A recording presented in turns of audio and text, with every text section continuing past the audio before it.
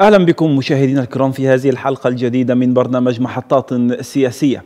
أعلن الرئيس الروسي فلاديمير بوتين أمس السبت أن موسكو لديها ما ترد به على ذخيرة اليورانيوم المخصب التي يسعى الغرب لتزويد أوكرانيا بها، ومؤكدا أن موسكو ستنشر أسلحة نووية تكتيكية على أراضي بيلاروسيا الدولة الحليفة الواقعة على أبواب الاتحاد الأوروبي.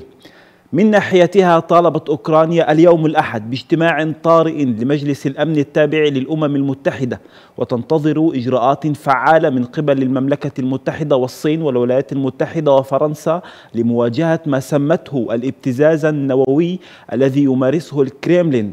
فماذا ينتظر العالم بعد هذه التطورات؟ هذا ما نجيب عليه اليوم في هذه المحطة السياسية. مشاهدينا الكرام إلى هذه المحطة أهلا وسهلا بكم.